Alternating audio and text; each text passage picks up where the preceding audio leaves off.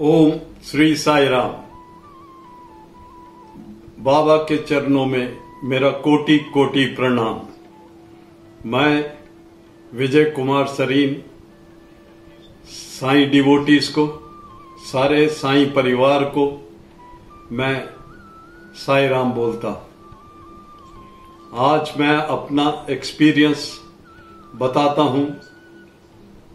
बाबा के चरणों में हम लोगों ने कैसे सेवा करी है।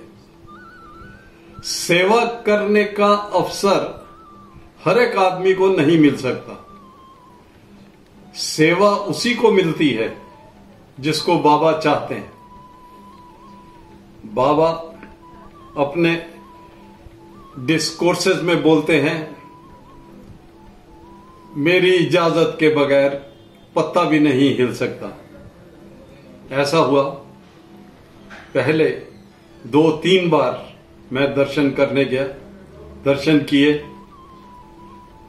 दर्शन करके मैं दिल्ली आता था और दिमाग में ये चीज़ घूमती थी कि मैं इसके अलावा और क्या कर सकता हूँ, कैसे अपने आप को आगे बढ़ा के ले जा सकता हूँ।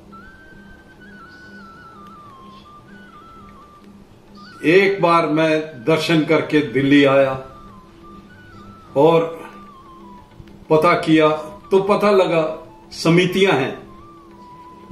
तो पता लगा सारा के सारे डिसिप्लिन से ही काम चलते हैं। उस समिति में मैंने नाम लिखवाया, भजन गाने शुरू किए और सेवा दल की ट्रेनिंग ली। फिर मुझे सेवा करने का मौका मिला।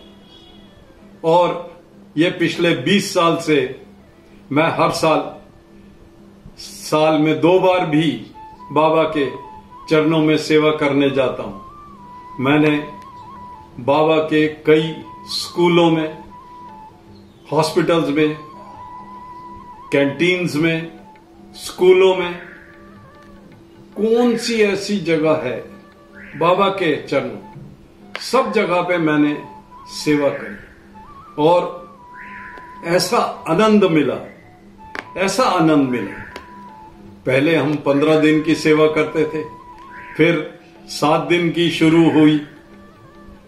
फिर मेरी कोशिश ये होती थी कि मैं पंद्रह दिन की सेवा करूँ, और उसके बाद कितनी मुझे पंजाब की तरफ़ से भी सेवा करने का मौका मिला, हरियाणा की तरफ़ से भी सेवा करने का मौका मिला। हर बार, साल में दो बार, तीन बार सेवा करने जाता रहा। ऐसा है, सेवा जो है, वो हम, वहाँ पे सेवा जो होती है, बाबा की इतनी प्रॉपर्टीज़ हैं। बाबा ने वहाँ पे सेवा करने के लिए सिर्फ़ सेवा दल ही रखे हैं।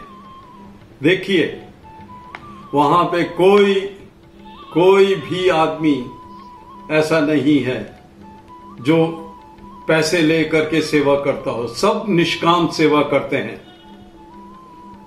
बाबा कहा करते थे, जब मैं भगवान राम के अवतार में था तो आप मेरी वानर सेना थे। जब मैं कृष्ण के अवतार में था, भगवान कृष्ण के अवतार में था, तब आप मेरी गोपिकाओं के रूप में थे।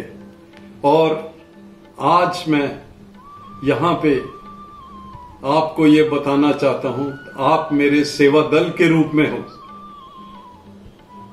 और हम लोग उनके होते हुए अब भी सेवा इस प्रकार से कर रहे हैं। डिसिप्लिन में सेवा। और हमें जो आनंद मिला, वो मैं आप सबके साथ शेयर कर रहा हूँ।